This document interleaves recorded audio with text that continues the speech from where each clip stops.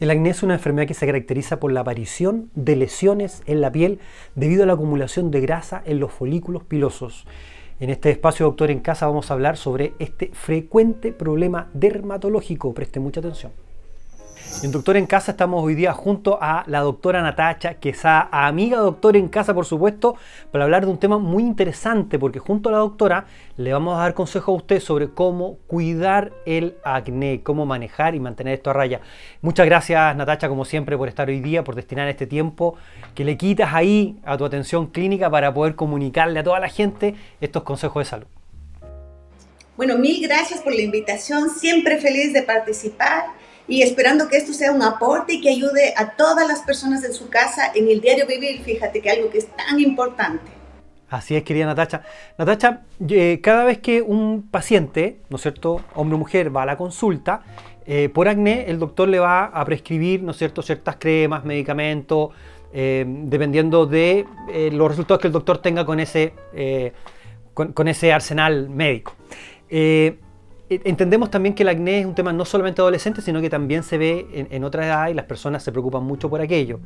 Pero ¿sabes qué? Queremos dedicar este espacio del programa a aquellos consejos que muchas veces en la consulta a lo mejor no se alcanzan a dar en profundidad y que tienen que ver con la higiene, eh, con la alimentación, con un montón de cosas que nos pueden ayudar justamente en este tratamiento.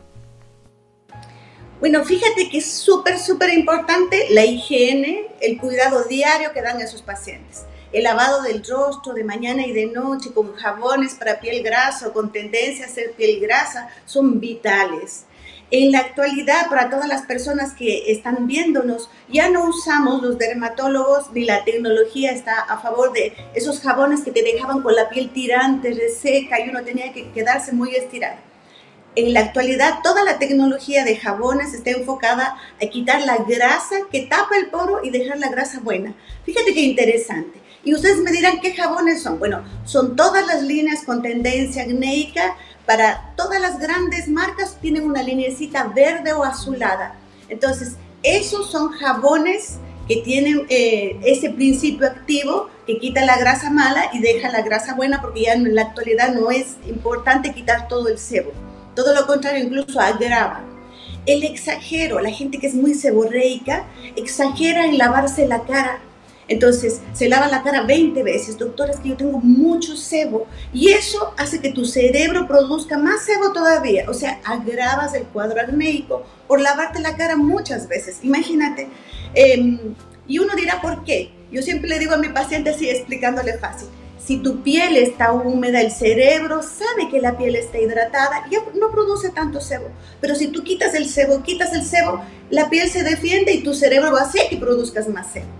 ¿Ya? También tenemos que comprender que la cantidad de sebo que producimos nosotros depende del estrés.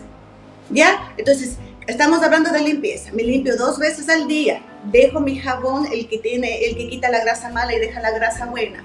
Secreto cuando hago espuma, hago la espuma y dejo que ese principio activo actúe un minutito. Entonces me lavo los dientes, me doy una vuelta y ahí me lavo la cara. Si no estoy botando todo el principio activo, no funcionando, entonces todo ese dinero está yéndose por mi baño. ¿Ya? Entonces eso es un buen truco, ¿ya? Me lavo la, cara de mañana y de noche, dejando la espuma un minutito. Em, no exagero el número de lavados.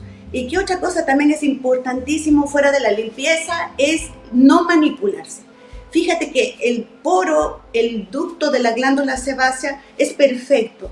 Y el mayor problema que tenemos con los adultos, con los niños, con las mamás, con todo el mundo, es que la gente se aprieta. Cuando se aprieta produce un verdadero nódulo, un quiste y hay una deformación de la anatomía en esa zona que solo consigues agravar el cuadro para hacer un curetaje de las lesiones tiene que ser alguien que sepa más o menos, ¿ya? Si haces tratamiento, lo más probable es que nadie te mande a hacer una limpieza facial. Y hay gente que nosotros mandamos dependiendo del caso. Pero para el paciente en la casa, si yo quiero estar bien y curarme de mis espinillas, fuera de hacer el tratamiento, no me aprieto, ¿ya? Apretarme me da cicatrices, apretarme cronifica mi cuadro. Algo que hablabas tú también es la comida. ¿No es cierto? ¿Tiene que ver el acné con la comida? Bueno, antes pensábamos que no, en la actualidad se sabe que sí. Entonces, ¿cómo, cómo, cómo eh, ¿Cómo vienen los estudios ahora? Entonces, aquella gente que tiene tendencia a resistencia a la insulina, que tiene un poquito de sobrepeso, que es más diabética, esas familias tienen más tendencia de que comer algo, pero generalmente con índice glicémico alto, o sea, algo más de hidrato de carbono, papa frita, y ahí me broto. Entonces, no pasa en todos los seres humanos, pero si tú eres una persona que yo me como una papa frita, como algo con un índice glicémico alto y me activa el acné, tú eres de ese grupo, entonces tienes que hacer dieta. Hay un estudio bien interesante que habla que 12 gramos de chocolate produce espinillas. Entonces imagínate, son cuatro bombones. Entonces oh, el exceso de azúcar es bien, bien importante.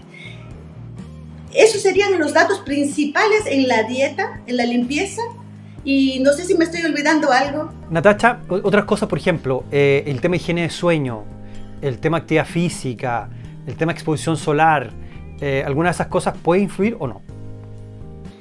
Bueno, eh, la actividad física, cuando uno trabaja en el poro y suda mucho y usó esos gorros oclusivos, como un casco, por ejemplo, yo trabajo con un casco y el casco está ocluyendo la frente, me sale acné en la frente si yo tengo tendencia acnéica. Entonces, no ponerme, cuando estoy sudando, no ponerme cosas oclusivas. Y si tengo que usar un casco, tengo que ponerme primero algo de algodón para ponerme el casco para que absorba rápidamente el sudor. Porque hay formas de acné que son tropicales o de las mascarillas. ¿Te acuerdas cuando hablábamos del acné con las mascarillas? Que el aumento de la temperatura, el sudor, era una proliferación en, la flora cutánea. Y la gente que tiene predisposición es una víctima de eso y por eso activa las... Claro, y pasa de repente a la gente que sale a trotar con un gorrito, que, sale con gorro a lo mejor muy apretado, podría pasar eso. Eh, la higiene del sueño, el sueño puede influir si estoy durmiendo mal, si tengo eh, tiempos cortos de descanso. Bueno, la higiene del sueño cada vez se estudia más, ¿no es cierto? Es necesario dormir bien, por lo menos 6 a 8 horas cuando eres adulto y los niños más todavía, directamente con la actividad de la glándula sebácea, con el estrés. Acuérdate que lo que acabamos de decir es que cada vez que tú estás con un sueño malo, no descansas y lógicamente te hace un individuo más estresado. Entonces, no tiene una acción directa el insomnio, pero no dormir saludablemente tiene un impacto negativo en tu bienestar y eso hace que produzcas más SEO. Interesante entonces los consejos eh, que hoy día Natacha Quesada nos ha dado para las personas que están sufriendo acné.